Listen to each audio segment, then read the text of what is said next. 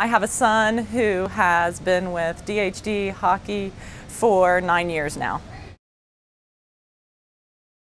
The one thing that I really love about Donskov hockey is the tradition that they lay down. They have something every year that's important and special to the kids. They have captains every year. They have the OV Cup on Fridays. And it's just something that year after year my son looks forward to doing. If I were to ask him what camp he wanted to go to next year, he'd say to me, Mom, I got to go back to the DHD.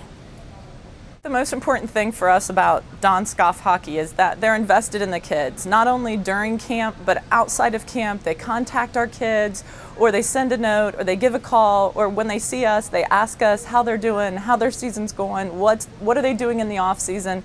They're invested, they care, they're interested in what's going on in our kids' lives. The biggest thing that draws us to the Donskov Hockey Camp is that the boys on the ice and off the ice, the coaches, they make it fun for the kids. They're competitive, they drive to make our kids stronger and successful, and then the best part about it is they make it fun the whole way through, so our kids don't really even know how hard they're working and how much better they're getting.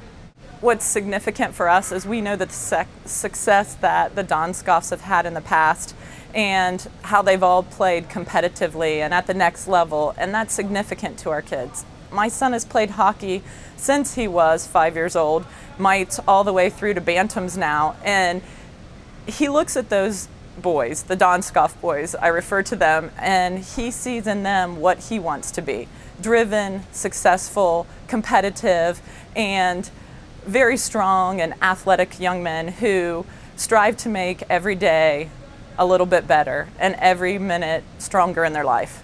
I've had many ask me why does Hunter go to this camp every year and that's my son and I say to them because he loves to be on the ice and he feels the love that the Don have on the ice and the love that they put into the game and the dedication they have and and that just puts them above any other camp. They know the game. They're not just kids who are in a hockey program somewhere that are working with our kids. These are professional guys who love the game, who share that love through their off-ice lecture, through their on-ice lecture, he learns something new every year, and that makes his game even stronger.